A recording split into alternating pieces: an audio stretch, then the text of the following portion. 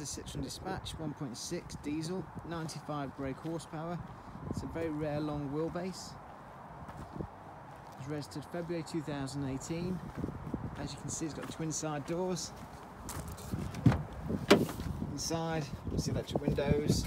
It's also got like a half leather trim. It's got a multifunction steering wheel there. Done 21,540 miles. It's got DAB radio and air conditioning. We're going to the rear of the vehicle. This one's also got parking sensors. And if I show inside the back, as you can see it's all ply lined.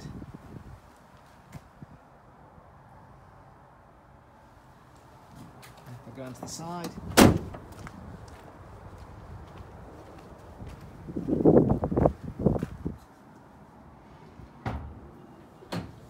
back to the front, obviously three seats, and again back to your media.